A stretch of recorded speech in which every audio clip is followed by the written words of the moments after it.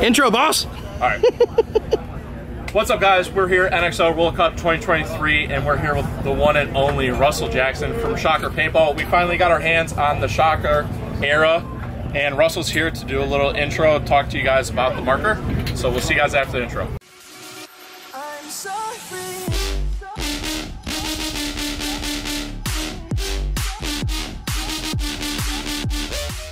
I'm so free. All right, Russel. So we're here. We've got the red. I like the fact that it's red gun. You Yeah, know? really.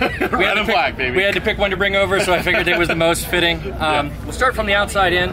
One of the cool things about the era, and the reason it's called the era, is we tried to pay homage to all of the predec- pre- uh, precursing shockers. Yep. So you see the knurling on the back, which is a throwback to like the shoebox shocker Yep. of the day, the uh, the midship. Uh, Echo, which is kind of like the NXT, Yeah. and then the overall smooth body, like Extremely the, smooth. I got to uh, hold it. like the SFT. Yeah. And then to tie in the freak branding, you have the uh, the uh, cross hatching grip.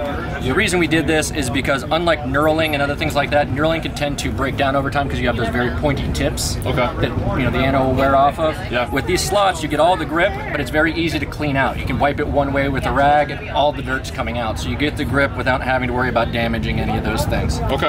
Um, other thing, we took ahead, went ahead and added a significant amount of texture to the front and rear grip. You can see we reshaped the front grip. The internals of the reg are the same. They, you know, they've been proven. They're very reliable. So any shops or yourself that have spare parts for your any of the previous shockers, you'll be able to rebuild the reg. The ASA, um, a lot of people have wondered uh, why we stayed with the knob. We redesigned the knob and the internals so that it's going to stay locked under pressure. So as soon as you put tank pressure against it, it actually locks that knob in place. Oh, okay. So it's going to be a lot less likely to come out. And then we went toolless on the rebuild. So if you look inside Oh. the ASA, there's a simple plug. You can reach in there with a pick, yank it out, change the two air rings, put it back in. So you have a very easy uh, service on Love the ring that. itself. That's forward thinking. And then really big changes. Um, the two most common leak points in previous generations of Shocker was between the body and the frame, and the frame and the ASA. That's because those O-rings were exposed to full pressure and they were threaded in with Loctite. Loctite itself does tend to weaken around 110 degrees. So when a player would leave the gun in their uh, car and it would get baked, it would uh, weaken the Loctite, and over time you might develop a leak. Gotcha. So what we developed with the Era is what we call a floating air tube. So the air tube actually floats between the frame and the body and between the frame and the ASA. So even if those objects are loose, it will not leak to the point where you can have the ASA so loose you can see daylight between it and it still won't leak. Really? And the idea with that is, is that if you're on the field and you feel something loose, you can address it after the point as opposed to being out from the point. Right, right. Um, everybody obviously wants to know about the bolt. Yep. The bolt twist lock. The twist lock mechanism is nearly identical to the previous ones. We've uh, made some changes to make it a little smoother and shorten the twist by just a few millimeters to make it a little quicker to get out. I, it was noticeable though. I felt it when I when I had one earlier. yeah, it's got a good feel, good engagement. Um, I do like the back cap a lot. I do too. anything that you see in black on the kit has not changed um, from the amp. Um, that's not to say that it's bad. Or It just didn't need to be updated. It was well done. Changed. You know, Yeah. this is an air chamber. There's only so many things you can do in air chamber, stylistically or machining wise. So it wasn't changed. All the blue components are new for this bolt system. Externally, the one you'll notice first is this little Yep. O-ring up here. Yep. Now we've had that on the previous markers, but it didn't have a slot. So now it has two positions. This position is going to restrict the most flow, which is going to give you the softest shot, and then you can move it to this back position, Oh. which is going to increase flow and allow the gun to work in extreme cold and in more extreme temperatures. Is that going to So affect Wow. efficiency at all? It does not affect efficiency whatsoever. It's simply with the speed that the air enters that stage. Gotcha, okay. So speaking of stages, we did reevaluate how the bolt moves. Um, the bolt accelerates from stop much slower than previous generations. So when you uh, have that impact on the ball, especially with brittle paint, you're not going to see the fractures in the ball that could produce barrel breaks. You're going to have less chamber breaks and less barrel breaks as a result of that accelerating a little bit slower. Okay. Then another major change you can see here on the front cone. This Yeah. is what we call our positional cone. What it does is previous shockers, we designed the ball detents to essentially face the ball into the bolt face, Okay. so move the ball back. Yeah. Um, and that works up to a certain point, but when you get to very, very small paint, six, seven, nine, and below, you do still have some roll around. Right. So what this does is it Which eliminates that. can, which can Which can cause affect, pinching. affect paint handling, right? Because Especially in mech, because mech has such an erratic fire rate. You might should be shooting 14 balls a second at once, and then slow down to 10, and then back up to 14. So having that ball stack directly on top of each other is going to limit breaks, and that's what this does. Is it actually moves that ball stack so that every ball, regardless of size, between this and the detents is located directly under the feed tube, so you have zero chance of rollback. Okay. So you're going to get uh, excellent paint handling. The best way I can explain it is if the amp was an 8 out of 10 on paint handling, this is a 10 out of 10. This is the best that we've ever produced outside of the TM40, Yeah. which is um, obviously a 10 The out of 10 flagship on paint marker, 10 out of 10. And I'll be honest with you. I'll be honest with you. Um, I never thought the paint amp didn't handle paint well. I was going to say it's one of the So- best that I've ever No, like and we, handled. we- so and we really enjoy that. But one of the teams we sponsor is AC Diesel, and uh, the guy who owns that team is Greg Pauly. Greg Pauly also happens to be a major player for GI. So he's able to get some of the most brittle paint in the world to test with us. So what our goal was to satisfy him that he could shoot anything GI produces for his team. Gotcha. And in fact, last weekend they were shooting a 679 ball. Yesterday they were practicing the 691 ball. Zero changes to the gun, and they were shooting excellent for those guys. So that was something that we wanted to achieve that you could go from a small ball to a big ball and not have any difference in uh, ball handling, and that's what we've achieved Gotcha. here. Okay. Um, so you obviously have the cap, and then I was discussing earlier changing the stages. You'll notice that the, the shaft, prop shaft, is significantly changed, and again, that changes the timing of the shot. One of the advantages uh, we picked up recently is uh, Ryan Moorhead um, of Houston Heat joined our development team. Uh, late last year, so he was instrumental in being able to tune the shot on this marker. So we now have the ability to prototype fully in house. So we could build this bolt from scratch in house with our machine. 50 different times and test all of them. You got it. So we were able to put a bolt in Ryan's hands, let him go shoot it. And I'd like it to do this, that, or the other thing. Our engineers are able to adjust it, and within 20 minutes, he's got a part to go try I was it just again. going to say, just my own morbid curiosity, like how quick does that happen? Like how many? minutes to do a piece. Wow. Okay. Nice. So, because we also have an in-house engineer who works right by the machine. He's got a, you know, a master's degree in, in uh, engineering as well as being a machinist. So when Ryan says, "Oh, this needs to do that," they can sit down, hash it out, and Yeah. really. That's pretty sweet. correct. That's that's uh. So that's a huge advantage. It's a I think nice little gained. Um, so that covers the bolt. Um, as I said, the feed tube did not change. Uh, like I said, a lot of what's being done here is massaging based on player feedback. You'll notice this uh, serration here at the back of the grip frame. I did. We extended the grip frame slightly. Um, Oh. So I noticed you a lot of we noticed a lot of players were using drop back rails and drop down rails, and uh, AC Diesel. A lot of the players were using extended tanks in order to get some more space in there. So what we did is we split the difference. We looked at one of those rails, cut it in half essentially, Okay. and added that to the bottom of the grip frame. So it's not as tall as a full rail, but it's somewhere in between for those players, and you'll just notice that in that little cutout there. So Joel, you being a taller player, you'll probably notice that off the bat if you ever Yeah, get when to I one. so I hold my gun low. You do. like this, so it fits well.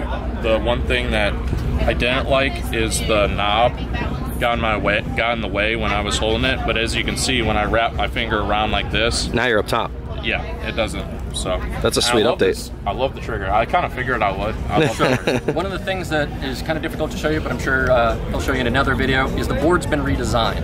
And that's one of the reasons why the trigger feels so nice, is we've gone to a, what's called a long arm micro switch. So the micro switch is about twice as long in the lever as it was before, but in doing that, we're able to put a wall behind the micro switch. So one of the more common uh, errors that we have would be a player misadjusted the trigger And they- damage the micro switch. Yep. Now, regardless of how you adjust the trigger, you're not going to damage that micro switch Oh, so you paintball player proofed it. until somebody finds a new way. yeah, right. I was about to say, We'll see. Nothing- Time will tell on that. I believe there's an expression about a mousetrap.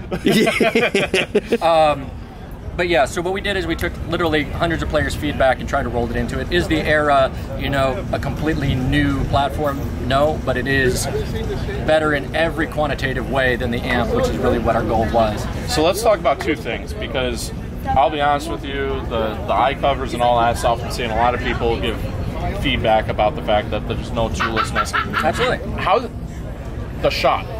Obviously, we'll be doing videos on this and Yes. you Yeah. know, but and efficiency. So efficiency is going to be almost identical to the amp. Okay. Operating pressure is almost identical to the amp. There's a certain point where you can't make things better, and, Right. and we've kind of reached that point. That being said, the shot signature is significantly quieter. Okay. And because the bolt accelerates slower in its first stage, you'll have perceptible less uh, recoil. Now, recoil is relative to paintball, and you know how long your tank is, and all sorts of things like that. But Yeah. The physical mass is moving slower, so there should be less uh, Okay. recoil with it. Okay. As far as the tooled eye covers and the tooled ASA, there's a fairly simple explanation for that. We aren't willing to compromise on the performance, so the components of the bolt, the way we machine things, the way things are anodized, so we end up having to find cost savings in assembly. So when you look at something like the ASA on here, you have two parts, a knob and a body. That's very simple to machine. It's very simple to assemble. That brings the cost down. Same thing with the eyes. If you look at you know the uh, latch system on the Luxe, there's four parts and two magnets. So that's significant Yeah. machining, significant Yeah. assembly, and that adds to the cost. Yeah. So people ask, well, why do those things there? Well, that's where we're saving the money. That's how we're making this a sub thousand dollar gun. You have to have a By- differentiation in the by market, making right? Some things a little simpler. Okay. And it's it's not even about differentiating the Luxe from the Shocker. If, if it made if we could hit the price point under a thousand dollars, we would. But you know, as we look at the industry, we look at the world as a whole. More and more expensive is not the way to go. Yep. Right. We want the Shocker has been and always will be in my mind the blue collar tournament gun. Yeah. Yes. The guy that pays for his own paint is probably shooting one of these. Right. right. And- You're right. and that's really why you'll see things like the eye cover and the, the ASA stay the way they are until we're able to find a way to make this work with economy of scale and still keep the price. What about the connection between the upper board and the lower board? So the connection between the upper board and lower board has changed slightly. If you can get a close up right here, you can see that that connection is now shrouded. Okay. So what could happen in the amp if you got bunkered or you were wet and whatnot? Yeah, there was a space where, where water could seep between the frame and the body or even paint.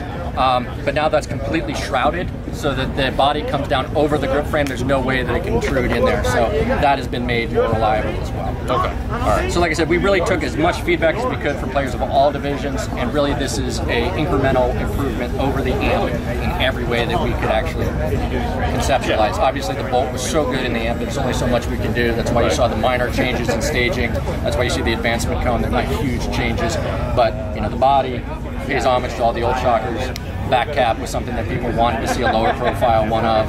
I do like the back cap. It's like really back cap. attractive. And to be honest with you, I love the feel of this trigger. Yeah. I, and I kind of when I looked at it, I'm like, I think I'm gonna like this trigger a lot, and I and I do.